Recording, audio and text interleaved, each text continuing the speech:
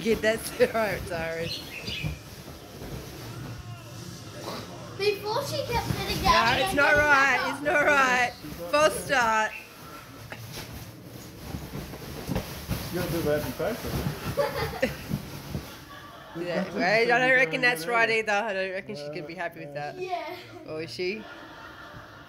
Nah.